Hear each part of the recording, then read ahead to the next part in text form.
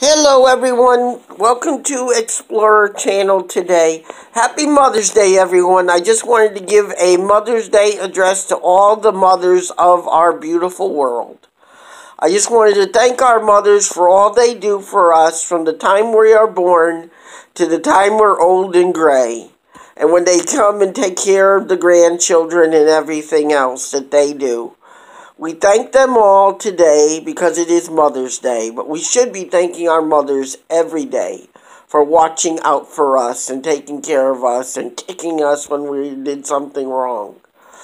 We love, it says in the Bible, honor your mother and your father, and days will be long upon the land.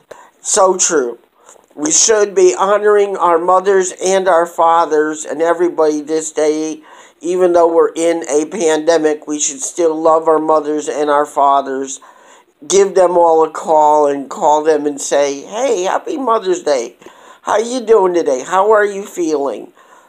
Let's pray on the phone. Let's have a let's let's enjoy a Skype call, a dinner with Skype.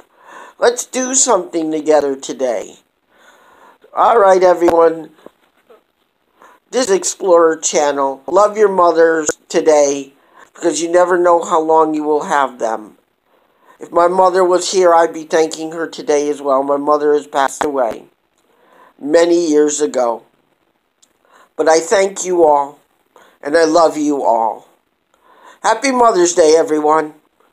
Throughout the world, happy Mother's Day, everyone. We love you all. Thank you for all you do and all the great cooking that you do and all the great baking that you do. Please like, share, and subscribe. Happy Mother's Day, everyone. Explorer Channel out.